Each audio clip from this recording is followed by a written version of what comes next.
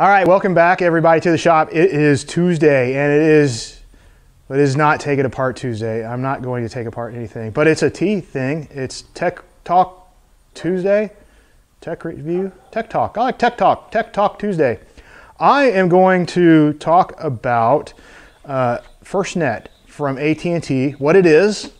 Uh, if you're not in the first response world or emergency comms world, you may not know what it is. So talk about that a little bit. Then I'm going to do a review of the Sam, uh, not Samsung, that's not the right one. I'm going to do a review of the Sonim XP8 phone. So stick around for Tech Talk Tuesday.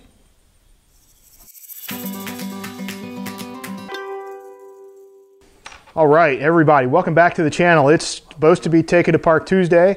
If you didn't catch the video last Tuesday, we took apart, I took apart a fuel filter, like a tractor fuel filter that was all encased in metal, so you couldn't really see what was in it. So we took it apart. If you're interested in checking that out, I'll link it towards the end of the video, and you can find it in my videos section, list it there, you know, whatever.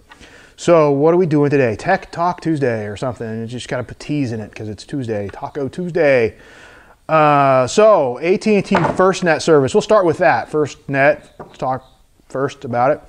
Uh, so, in a nutshell, uh, first responders more and more uh, nowadays are using cellular communications to do a lot of stuff transfer data, transfer videos, transfer pictures.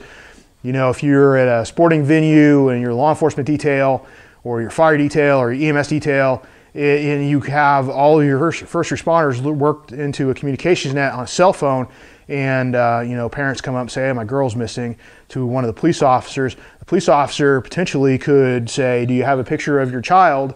And they're like, "Yeah, it's on my phone." And they pull it up, and here's the picture of the child.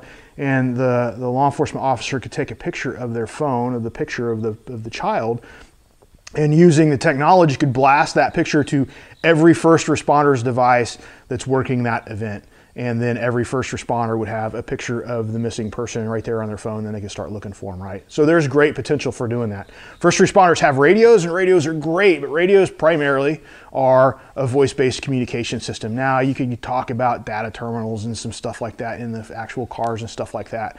Yeah, I get it, but at least where I'm from out here, data uh, or uh, radios are, are just a voice, strict voice. So there's a lot of potential for first responders using uh, you know the cellular type of communications for first response. And uh, another issue with that is as that's an increasing thing, if you're in a venue packed with you know Lucas Oil Stadium back before COVID. Uh, would uh, can hold 70,000 people. The Indianapolis 500, they never really release how many people are there, but they estimate, folks estimate, there may be 250,000 people that are attending that event, not including the workers and the first responders that are there and the race car teams and stuff like that. Just 250,000 attendees to the event. Uh, and so the cellular system gets overloaded. And so if that system's overloaded, then first responders can't use it. So FirstNet is about building out a system that first responders can use. It's a, a band in the radio spectrum that's just exclusive for that. So while people uh, the general public are over here using this section of the radio frequency for cellular communication and sending videos and live chatting and doing whatever they're doing. The first responders can be over here in their section of the spectrum communicating on sort of a private infrastructure network. Anyway, and AT&T was the one that, that was awarded that. So that's FirstNet in a nutshell. If you're an amateur radio operator and you get QST, I think it was the September issue current issue, uh, September 2020, actually had like a page and a half write up about FirstNet. So if you have the magazine in hand or online, you could go and check that out as well. Uh, so that is FirstNet in a nutshell. Um, what next? Let's talk about this phone. Let me swing you guys down so you can check out this phone. All right. Hey, look at that. The Battle Pig. Battle Pig strolled in. This is the uh, new shop mascot, the old number 53 Battle Pig. Move along, little piggy, move along. All right, so back to business here. Here's this uh, Sonim XP8. It's a 4G LTE phone, and I think uh, it's just on AT&T now, but it can be unlocked and put on others, I think. Um, but it's uh, definitely available at AT&T. You sell it. You don't have to be a FirstNet subscriber to get this phone. But some of the benefits of the phone won't be available unless you're a FirstNet subscriber. And by the way, I didn't mention this, but you have to be a first responder. I mean, that sort of makes sense, but you have to be a first responder to be able to subscribe to FirstNet. Motion alert detected.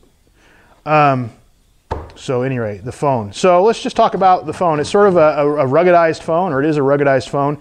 It's uh, you know pretty uh, pretty beat proof and stuff like that. It is actually waterproof down to like six feet for 30 minutes. And so, you know, if you're a firefighter out fighting fire with water, if it gets wet, not a big deal. I've actually had mine on some training missions. We've been out uh, spraying down some hoses with some uh, some new guys, and I'll just whip my phone out in the middle of the stream and start taking pictures and video and stuff like that. People are like, "Oh, your phone." I'm like, "Yeah, don't worry about it."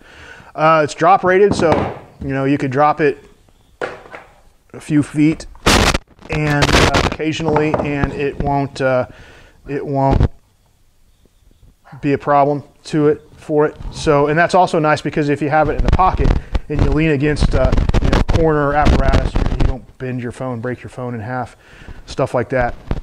It is dust resistant and waterproof, dust resistant sort of makes sense, and it's intrinsically safe. So if you're in, in if you're in a hazardous material environment where there's flammable vapors and you're using your phone, it won't ignite the surrounding atmosphere. So that's sort of interesting. So yeah, it is it is sort of battle proof.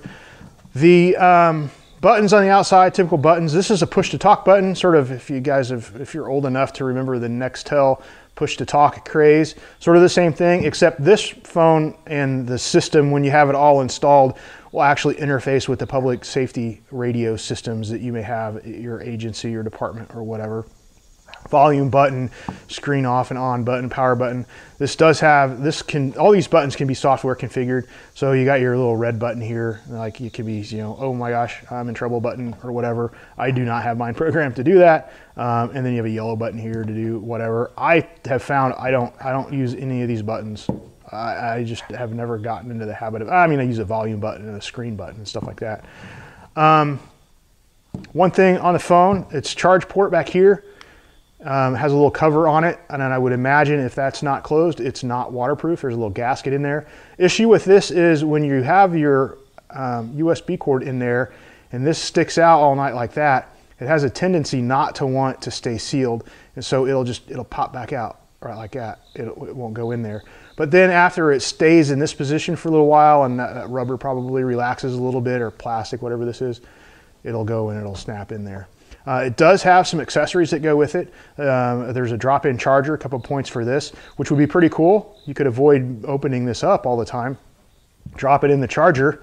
Problem is the stupid drop-in charger is like 250 bucks. And there is also no like headphone jack on it, which sort of makes sense because you don't want a hole in the side of a waterproof phone. But then like I have a Square reader for taking credit card payments and you have to have that to put it into your phone to use it. Um, you can get some stuff, some accessories, like there's some proprietary connectors here and one on top of the phone, but all of their stuff is like huge expensive. So you can get a little device that has a phone or a headphone jack in it, but it's really expensive. You can also get like a car mount that it flips into your car and you know mounts on the dash or like a radio type deal. Um, so yeah, that's sort of the, the outside of the phone. I have some issues on the inside of the phone, the operating system. It's a typical Android type operating system where the company takes uh, this Android software or whatever and then customizes it to fit their phone. Um, so all the Android stuff. I'm not going to talk about that. You know, so if you don't have an Android phone, iPhone, it's the same stuff. It's just different, right? Um, so what are some of my issues with this phone right now? Uh, well, early on, um, well, that was interesting early on, um, I'd have some issues, be like, oh, I have issues. And it seems like the company would roll out a software update or an OS op update, operating system update, and it would correct the problem. So I was like, oh, cool, they're on top of it. Um, for the, I haven't seen an, I don't know when the last time I saw an operating uh, system update was. So I don't know if they've just given up or, um, you know, they're on to their next line or whatever. And I don't know either if it's just this phone, like this phone's a lemon, or it's across the entire line of these XP8s that's an issue. early on when I was trying to troubleshoot and solve these problems, I was on the forums online and folks were saying, no, that happens on my phone too. It's not just your phone. So I have a suspicion that this is a, a XP8 model issue, not just this phone. Uh, so what are some of those things? A couple of them, the fingerprint reader doesn't always work. Ah, look, there it goes. Too many attempts. Try again later. Doesn't work. I'd say it doesn't work about 80% of the time. So then you have to, okay, here. No. Uh, uh, yeah, too many attempts. Try again later. So then you have to get in here and do your little thing there. Um, so that's really annoying, especially annoying when you've got apps on here that use your fingerprint to get into the app, like your banking apps, and 80% of the time it doesn't work. And I can never remember those passwords. Um, so that's annoying. Second annoying issue, and this is beyond an annoyance, is you'll be in the middle of a conversation with somebody on the phone and they'll be like, hey, uh, I can't hear you. Are you there? Are you still there? They no longer can hear you talking, but you can hear them fine. There's no indication that anything has gone wrong with the phone. Uh, and they just all of a sudden they can't hear you. And, uh, and that'll also happen when you call somebody. Um, the phone will go into an air. I don't know what happens with the phone. It just it happens, and you call somebody, and you know you can hear you can hear the button push it, pushing, and you can you know hear it ring, and they answer. You can hear them, and you're like, hey, okay, I'm here, and they're like, I can't hear you. Are you there? Are you there? Well, of course, what do you do? You hang up and you call them back. It still doesn't work. The only way to get it to work again is to hang up, uh, hang up, reset the phone, wait for the phone to reset, and call the person back and I'm looking for a job and I want to start a small business. Could you imagine if I was in the middle of a job interview and all of a sudden my phone messed up and they couldn't hear me? And not only did I have to call them back, I had to reset my phone and wait four minutes for the phone to come back before I could call them back and hope they hadn't already decided not to hire me. So yeah, that was an issue. Uh, Wi-Fi calling doesn't work. I'm standing next to the Wi-Fi router and I'm connected and surfing to the internet. I decide to make a phone call to find out about something. It says you don't have service, which I get it. I'm inside a metal pole barn. You don't have cell service. Connect to Wi-Fi for Wi-Fi calling. I, what? I, I am. I'm, I'm five feet from the router. It's, you know, the router's right over there. I'm five feet from it. I am connected to Wi-Fi. Wi-Fi calling doesn't work. And then there are other issues.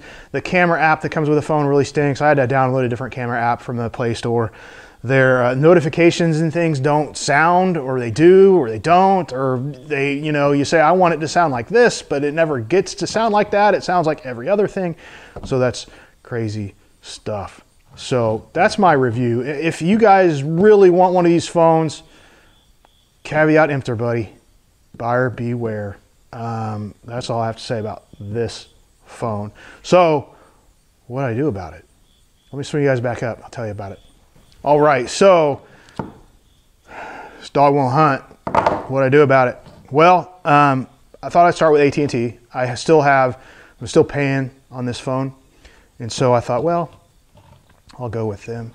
Um, so I went to the AT&T store and I said, hey, you know, so, so you guys get to know that look on somebody's face when they totally agree with what you're saying, but they can't say that they agree.